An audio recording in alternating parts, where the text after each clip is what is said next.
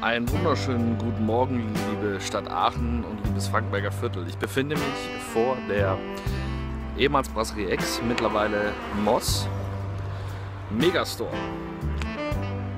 Man kann draußen wunderbar seinen Kaffee genießen. Die Eröffnung ist heute angelaufen und es gibt diverse Snacks, Brot und Brötchen. Ihr kennt das Sortiment sicherlich auch aus anderen Filialen. Kaffee aus dem Vollautomaten, sieht dennoch ganz gut aus. Man hat circa einen Monat hieran gewerkelt und hat das ganz geschickt angestellt. Man konnte zwischendurch auch durch diese großen Fensterscheiben, die man hier im Hintergrund sieht, auch durchgucken. Äh, fantastisch gelöst. Genauso fantastisch übrigens wie heute Morgen hier Öffnungseinladung für die Nachbarn. Um 5.15 Uhr klingelte der Alarm.